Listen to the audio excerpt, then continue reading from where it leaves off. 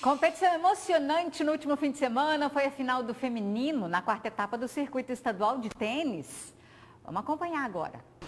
A quarta etapa do circuito estadual de tênis estava marcada para a Primavera do Leste, mas devido a um desentendimento entre atletas e a federação, na última hora foi transferida para a capital.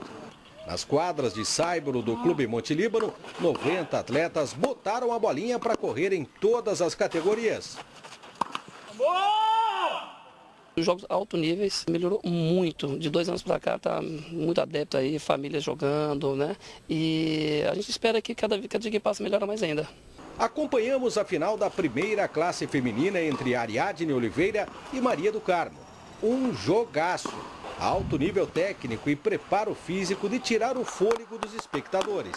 Mais experiente nas quadras, Maria do Carmo imprimiu um ritmo forte e caminhava para uma vitória tranquila. Mas Ariadne Oliveira reagiu, empatando o jogo e forçando o super tie-break. Maria do Carmo botou a rival para correr, forçando o saque e as bolas rente à rede. O set point 10-8 no jogo mais disputado da etapa. Foi ótimo, jogamos bastante, minha parceira é uma amigona, a gente trava né, durante o jogo, mas é isso aí. Eu acho que é importante a gente brincar e levar essa, essa, essa brincadeira saudável né, para as pessoas que nos assistem, para as criançadas aí.